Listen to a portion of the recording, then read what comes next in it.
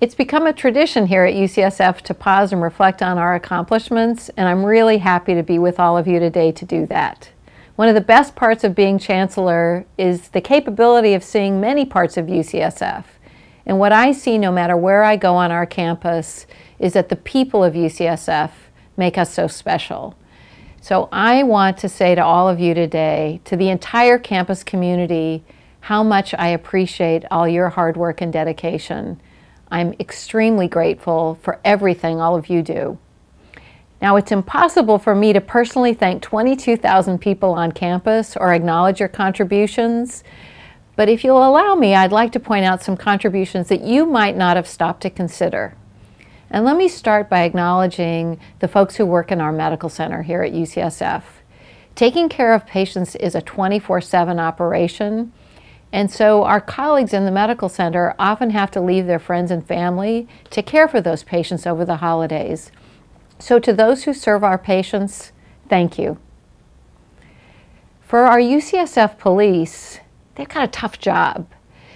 I see every time I attend the Regents meetings over at Mission Bay that combination of commitment and professionalism, balancing freedom of speech with a need to keep order and safety, and so to all of the members of the UCSF Police, thank you.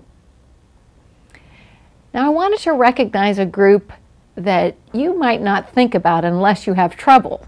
But this is a positive recognition. Our Information Technology Unit, newly under the leadership of Elazar Harel, have done some really great things on our campus recently. So for all of us whose cell phones now connect or who have a single password, I want to point out that it's the small things that sometimes make our lives much easier and enable the big things to happen at UCSF. So to everyone in our IT group, thank you. Operational excellence is something on our campus that is a vision and a concept that I think is going to add great value here at UCSF. Some 150 people in our campus community were engaged over the summer and fall now, John Plotts will update the entire campus on the details around operational excellence and all the great progress we've made come next January. But I wanted to say to the people who have really been engaged in all the work it takes to make operational excellence real, thank you. We know that operational excellence is actually making a difference. In 2011 alone, our target is $21 million of savings, and we've already achieved over 15 million of savings to date. What's more important is by 2013, operational excellence will allow us to save about $50 million a year.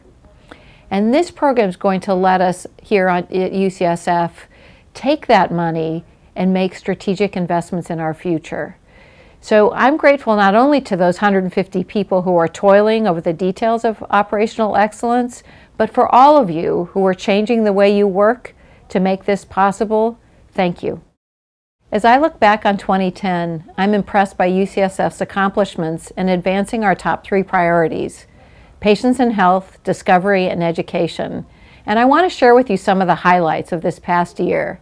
In patient care, it's been an exciting time for UCSF Medical Center, starting with the $100 million gift that Mark and Lynn Benioff gave to UCSF for our UCSF Benioff Children's Hospital. To Mark and Lynn, thank you. Based on this kind of generosity and an amazing fundraising effort, the UC Regents unanimously approved moving forward with our medical center project in Mission Bay, and in October, we held a ceremonial groundbreaking. The highlight for me was watching 11 year old Patty O'Brien recite his poem called Needles talking about the amazing experience that he had going through cancer therapy here at UCSF. There wasn't a dry eye in the house.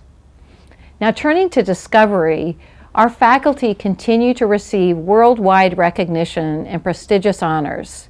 So there's a lot of different honors I could share with you, and I selected two that I think are really recent and outstanding.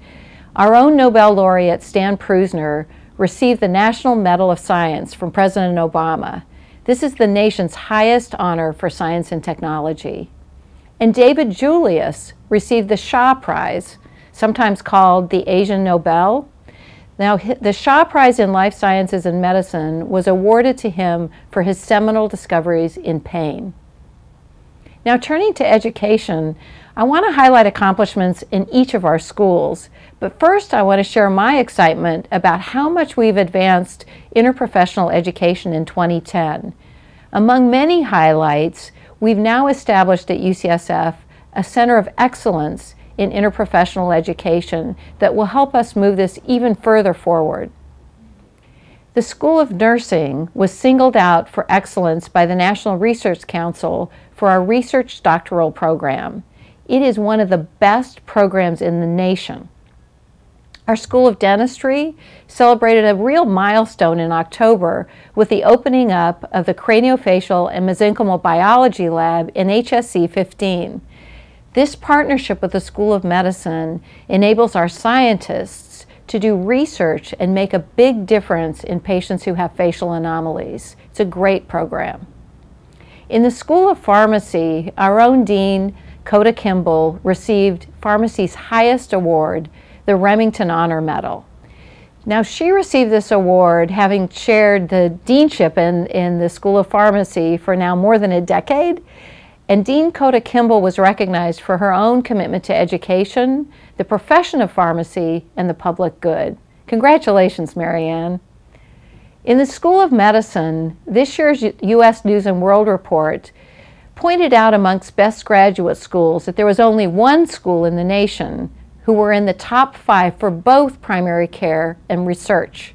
I think that really says a lot about our School of Medicine, both primary care and research, and you can see that and feel that in the school. So congratulations to Dean Hawgood and the entire team in the School of Medicine.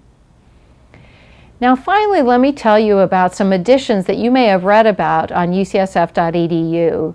Some great additions to our already strong leadership team, starting with a new dean for our School of Nursing. Come April of 2011, David Vlahov will join us as our seventh dean of the School of Nursing. David is a real leader in public health and in research. And he'll come to the helm of a very strong school of nursing. And I think he and the faculty will take that school to even the next level. I'm so excited about David Vlahov joining us. In a newly created position, Vice Chancellor for Diversity and Inclusion, Renee Navarro steps into a position that is so important for our campus, and I know Renee's going to be outstanding. She's already had an illustrative career in our School of Medicine and Department of Anesthesiology, largely at San Francisco General Hospital, but Renee's made a difference across our campus already with her efforts in academic diversity. So please make it a point to welcome Renee. And finally, Joe Castro has been promoted to Vice Chancellor. In recognition for his efforts in student affairs, not only here at UCSF, but across UC and making an important difference in the community of San Francisco. So congratulations, Joe, for this well-deserved recognition. Now in closing, I want to tell everyone on our campus how much I appreciate all of your contributions to making 2010 a terrific year for UCSF. In a challenging time, the work that each and every one of you do makes a big difference. So let me wish you and your families a very happy holiday season. And here's to a great 2011. I can't wait to see UCSF next year. Thanks a lot.